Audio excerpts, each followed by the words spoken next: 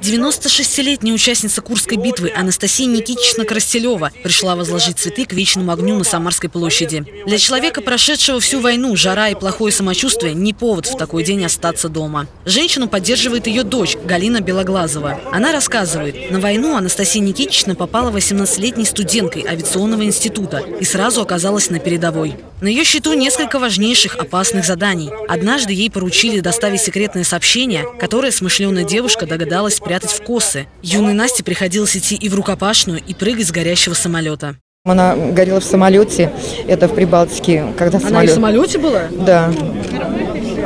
И с парашютом выпрыгнула. Э, Летчик погиб, а она, значит, немцы ее вели на расстрел. Подбили самолет. И потом там одна женщина, она закопала ее в погреб.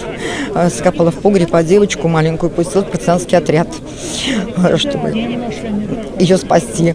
Сегодня цветы к вечному огню возлагали участники разных сражений. Сергей Сергеевич Алехин воевал под Сталинградом. Ушел на фронт 15-летним юношей. Воевал три года в пехоте. После ранения в голову оказался в больнице. Врачи поставили его на ноги и посоветовали учиться. Так Сергей Алехин оказался в военно-морском училище. А после войны более 15 лет прослужил в Тихоокеанском флоте. В Сталинграде даже ранение получил, а под моим родным городом, Какое ранение?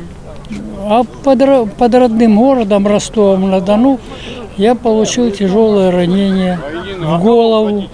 Хорошо, что я был в каске. То по разгильдяйству надо, знаете, идешь без каски, все.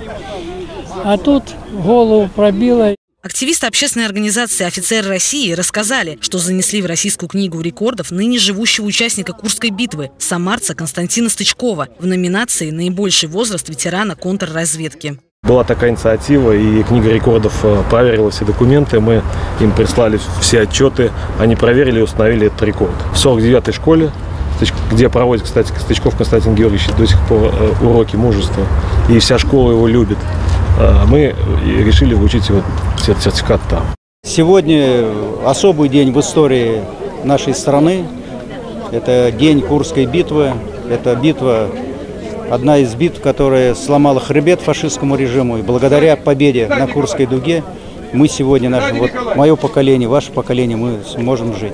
Мы отдаем сегодня дань памяти всем, кто погиб в этой Курской битве, кто умер после войны. И желаем здоровья и вспоминаем здоровья всех, кто сегодня жив. Сегодня на территории Самарской области проживает 49 ветеранов Великой Отечественной войны. Каждый из них в эти дни получил поздравление и подарок от губернатора Самарской области Дмитрия Азарова. Валерия Куценко, Григорий Плешаков. События.